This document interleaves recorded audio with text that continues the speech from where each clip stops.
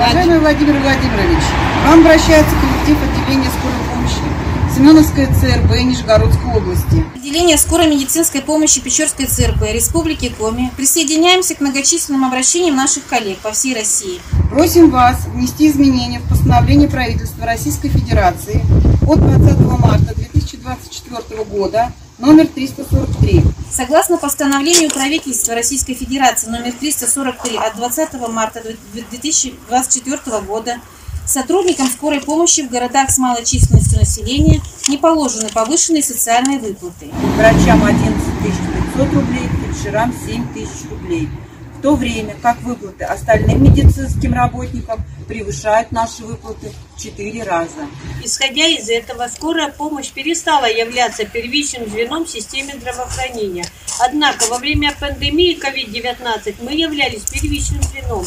Скорая медицинская помощь круглосуточно работает в экстренных условиях и первыми приходим на помощь, несем ответственность за жизнь пациента. Скорая медицинская помощь очень важная структурная единица в сфере здравоохранения нашей страны.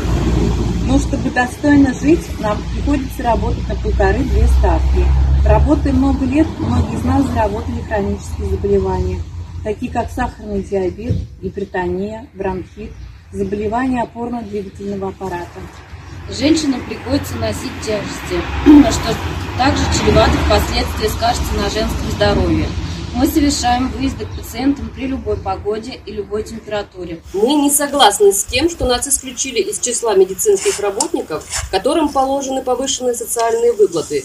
Мы считаем необходимым внести изменения в постановление номер 343 от 20 марта 2024 года и включить нас в число получателей повышенной социальной выплаты в размере 30 и 50 тысяч рублей фельдшерам и врачам соответственно.